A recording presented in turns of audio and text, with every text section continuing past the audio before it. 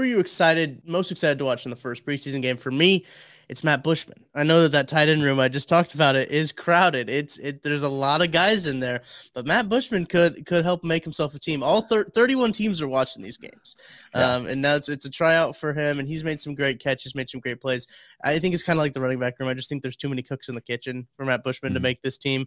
Um, so so we'll see how that goes. Who are you looking forward to, BJ? Well, Pacheco would answer, but we got to yeah. mix it up a little bit here. Uh, Leo Chenal. I mean, he's my guy on draft night you know, I said like this guy's going to be a fan favorite. You watch his highlights, you see how he plays, and you know what makes Arrowhead so special. I mean, that mystique of Arrowhead was built off of defense and guys making mm-hmm. plays on defense. No offense, Patrick Mahomes, the offense, that's amazing, but nothing gets Arrowhead louder than a third and long situation. And when your defense is out there setting the tone, and Leo Chenal is a tone setter.